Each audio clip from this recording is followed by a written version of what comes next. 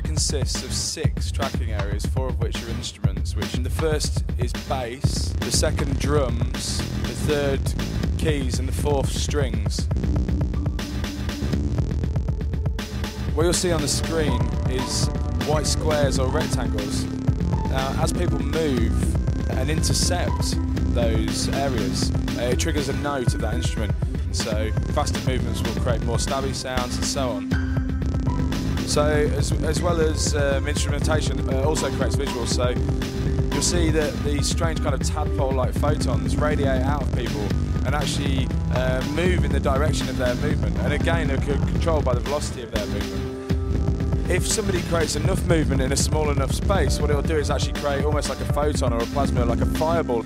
And people can actually bat them between themselves. And then there's this wonderful kind of eureka moment that people have where they find ways to harmonise the two together um, and actually get something compelling that sounds nice and looks beautiful at the same time. I, I think it's a really fantastic project. It's really fun dancing to it. Just uh, moving your body and just feeling free to create notes. I really enjoy dancing, but um, I have no musical talent whatsoever, so I think it's a really good way of putting the two together. So we created some some sort of musical energy, and we were sending it to each other.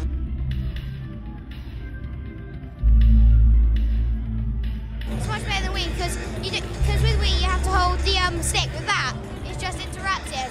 You don't actually have to hold anything. There should be one in the kids area. That would be great, wouldn't it?